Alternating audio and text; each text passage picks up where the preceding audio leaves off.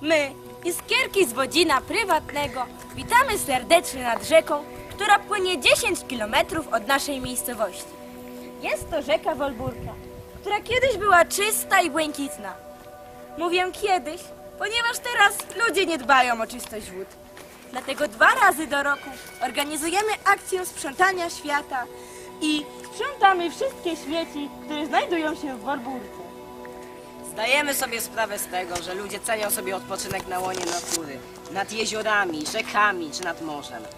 Jednak co się stanie ze tymi zbiornikami wo- wody za kilka lub kilkadziesiąt lat, jeśli nie będziemy o nie dbali? A może wcale ich już nie będzie?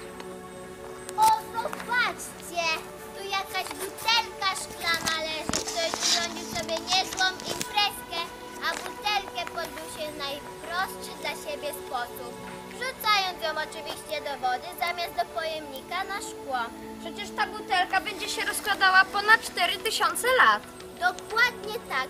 Szkoda, że nie wszyscy o tym wiedzą.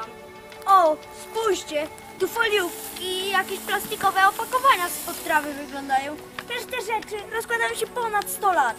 No nie wierzę! To jest niewiarygodne! I jak tu się nie denerwować? Co tam znaleźć? Co tam masz? Zobaczcie! Już rzuci zużyte baterie do wody! Baterie? Przecież nawet w sklepach są na nie odpowiednie pojemniki. Baterie to są tak bardzo niebezpieczne odpady, zachodzą w nich skomplikowane procesy chemiczne. No właśnie, są one szczególnie niebezpieczne dla środowiska, dla człowieka, dla ryb. Znajdują się w nich różne me ciężkie metale, takie jak ołów, re rtęć oraz, oraz kwasy, które powodują różne ch- niebezpieczne choroby oraz, lub nawet śmierć. Widzicie teraz, że każdego dnia człowiek sprawia, że nasza rzeka nie jest już tak cudna i przyczynia się do tego, że staje się coraz bardziej brudna. Cóż więc z rybami, które życie swoje tutaj miały? I cóż z ptakami, które w tej rzece się pluskały? Ciężko mówić o takich sprawach, bo to nie jest takie proste. Zastanówmy się więc, co zrobić i weźmy sprawy w swoje ręce. Nie pozwólmy zginąć rybom, przecież w rzece są karasie, węgorze i płocie. Oczywiście, że masz rację. Tu są liny, pstrągi, sumy i ukleje. Są też y, miętusy, płocie, trocze i, mię- no i ptactwo wodne tutaj broczy. Nie pozwólmy więc, by człowiek wszystko zniszczył. Oczyśćmy rzekę i zbadajmy zanieczyszczenie wody.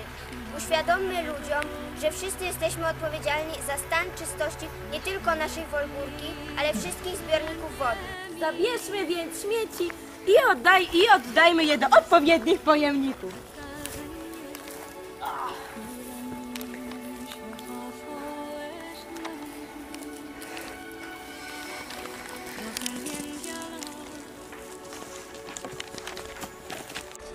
Apel do ludzi. Człowieku, przejrzyj na oczy, opamiętaj się. Jeśli cenisz swoje zdrowie, pomyśl o tym, zanim wyrzucisz śmieci do wody. Jeśli kochasz swoje życie, żyj, ale pozwól żyć innym organizmom, zarówno jak i lądowym, jak i, i wodnym. Człowieku, dbaj o środowisko. Segreguj odpady, bo to od ciebie zależy przyszłość naszej planety.